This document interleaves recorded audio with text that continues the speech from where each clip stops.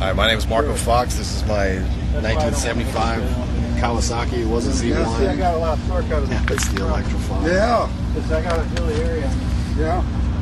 Well, that's why you're speeding. Basically a variation of the El Chopper bike, you know. Buy a book for it to build it. Um, then it was just really hard to It's get. a 48 volts Etek motor. More or less a two-wheeled golf cart. A little faster. About how long did it take you to build?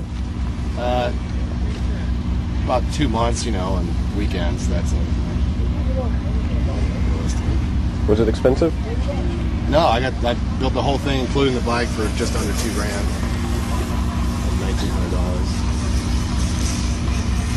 So what, sort of range would you get with it? Uh, about twenty-five miles range in you know realistic city driving, and it goes about fifty miles an hour.